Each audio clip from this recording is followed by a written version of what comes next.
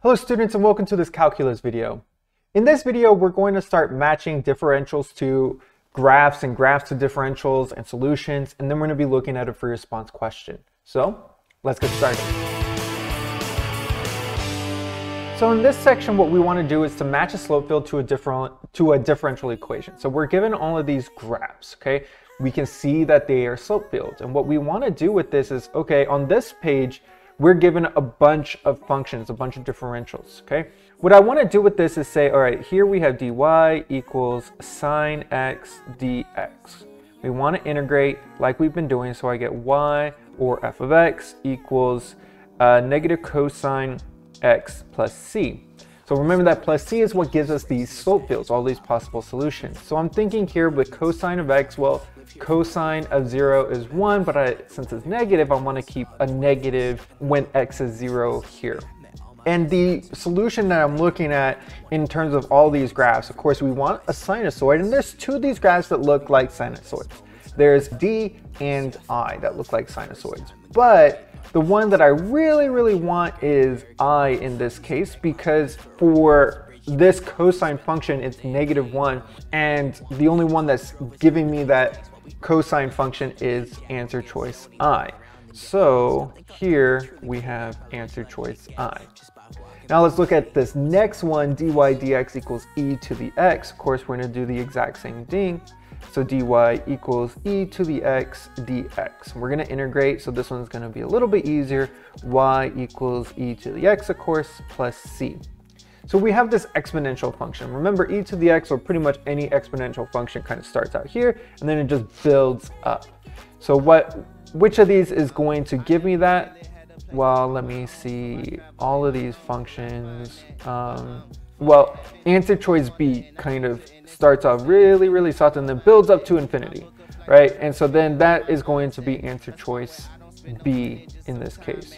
So we're gonna be filling these out. Um, you get the idea, nothing really has changed um, in terms of how do you actually find the original functions, the general solutions, of course, and go ahead and try to match these to the slope fields above.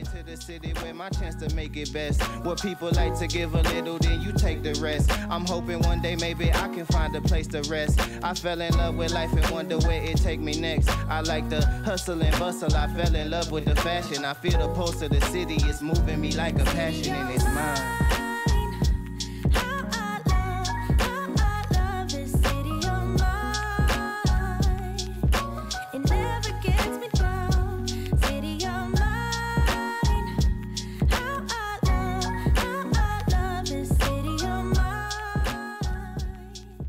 Okay, so that's gonna be all of our solutions. You can see them here in the video.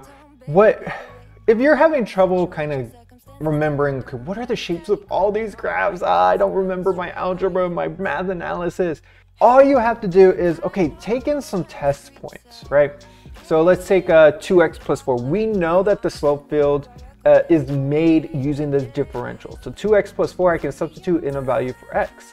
Let me just substitute in a bunch of point. So 2x plus 4, I could substitute in all the zeros. So I'm going to end up with 0 plus 4. So they should all be 4 along that y-axis because when I substitute an x, I get that y-axis. And the only one where I'm getting something that is all positive 4 is on answer choice A, something that's all positive 4. You can see even that not even in answer choice B am I getting that because it doesn't even look like, yeah, across that y-axis, they all look pretty uniform, but the slopes aren't as steep as what I would expect a slope of 4 to look like. So you can kind of see that, and you can just continue to put in additional test points if you need to. So moving on to our next examples, uh, we're now matching the slope field to solutions. And notice here, we're already given y. And what you want to keep in mind is as we're doing these, the slope field should pretty much match what these equations are because we're already given the original function. So here in number one, I know I should already be looking for something that's a linear equation. So, all right, so in number one, I'm looking for something that gives me a bunch of linear equations. Well, the only answer choice for that would be answer choice C.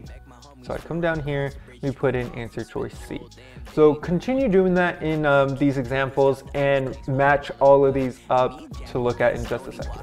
And get lost. Don't think I'll ever truly pay back all I was lucky to get just by walking through the city. No, I'm a small part of this.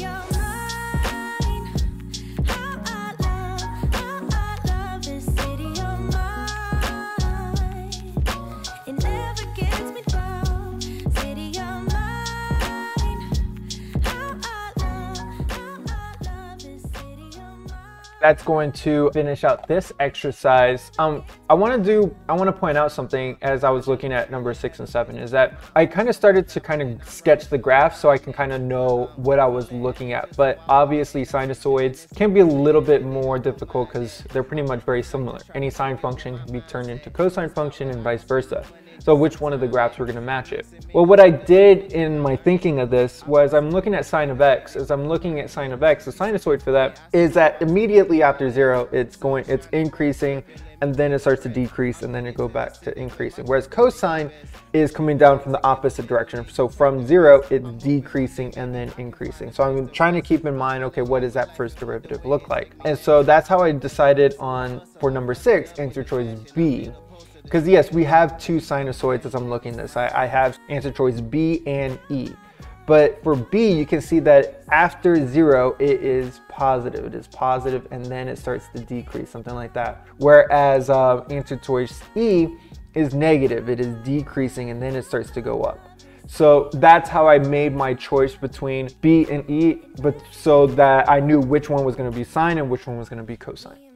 All right, so moving on to some actual like AP multiple choice and free response questions. We're given a slope field here in this first question and we want to say all right which of our answer choices actually matches this slope field? I could go and find the general solution for all of these which you can see that there's a product rule that's going to be happening. And since we already know what the tick marks are on these on the slope field, I do just kind of want to keep in mind that I could just substitute in these values. So for example, I could just use a random test point such as negative one comma one because I know the slope for that for all of these values in this line are going to be zero. So which one is that going to come out to be? So in this first one, if I substitute in negative one times one, I get a slope of one. So that cannot be it. In the second one, uh, negative one, so I get negative one and then uh, minus y, so minus 1. And that comes out to be negative 2. So again, not a slope of 0, so it cannot be answer choice B. So let's keep going with that idea. Negative 1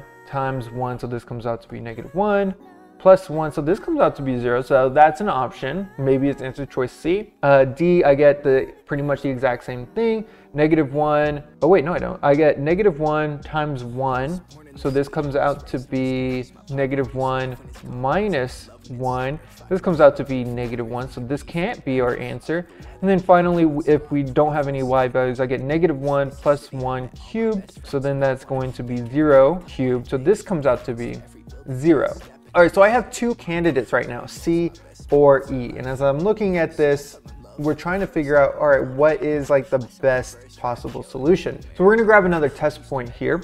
And let, us just kind of keep using this vertical because I know all of these are going to come out to be zeros. So that makes my calculations really easy. Let's use negative one comma negative one in this case. So if I substitute in negative one minus one, I will get negative one min times negative one, I get plus one minus the y, so minus one, which does come out to be zero again, great. But in this answer choice E, negative one minus one, I get something that is going to be negative 1 plus 1 is 0. I get 0 again. So I'm starting to kind of stress that I cannot keep using this vertical line. So I do need to start to choose a different point. Maybe I could use negative 2 comma negative 1 right here or even negative 2 comma 1 because I can see that this slope looks like it is positive 1 and this slope here at negative 2 comma uh, 1 comes out to be negative 1. So you could use whatever point here. Um, obviously something that works with either positive 1 or negative 1 would be best. So let's use negative 2 comma negative 1 and substitute that in. So here I'm going to get negative 2 comma negative 1. Sorry, negative 2 times negative 1 and then I'm gonna add this, so minus negative one, so my, or sorry, minus one, and I get two minus one, which equals one. So that one does work. So let's look at our other solution. I get negative two plus one cubed, so I get negative 1 cubed, which comes out to be negative 1. And that shouldn't be negative. We, we only want a slope of positive 1. So this one does not work, which means our answer choice should come out to be answer choice C. Now we're moving into possible free response questions. So we have a differential equation dy dx equals x over y.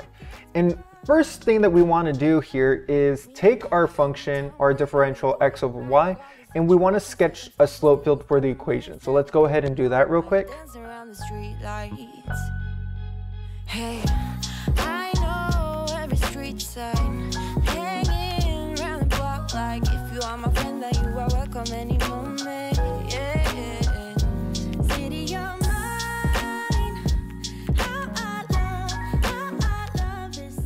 Okay, and that is going to be our slope field for this free response question. You get some nice symmetry here, kind of um, some outward star looking thing.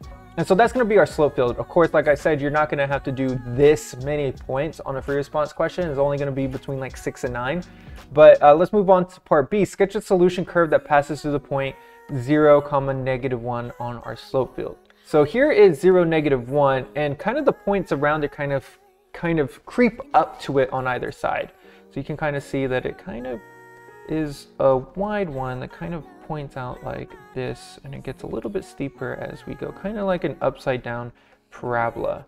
And uh, this is good enough, right? As long as we get the general shape.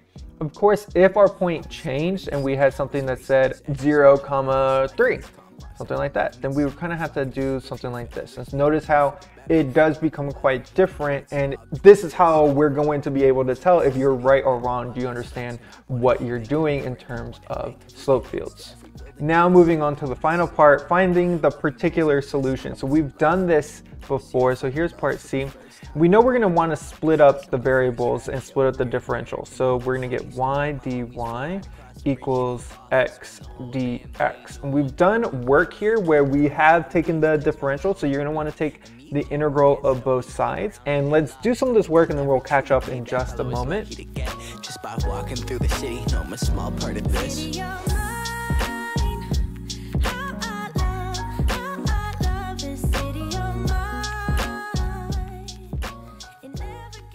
Okay, and that is going to be our particular, our specific solution for f of x.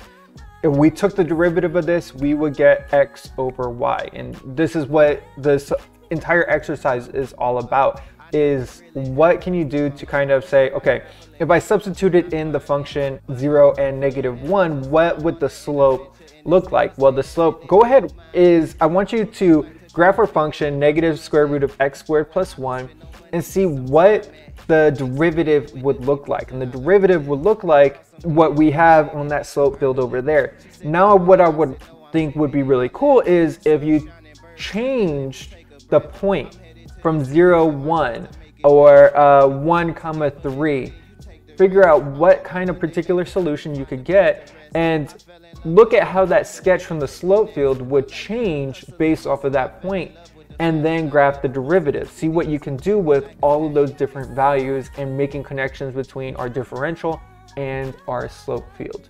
Of course, if you do need any help with any of the problems in the video, please reach out to me either in the comments or in an email or whatever method that you have.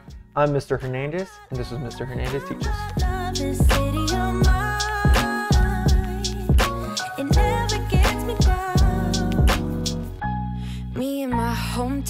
Baby, we go way back. All the situations, circumstances, still we don't mind. Steady going on, I dance around the street lights Hey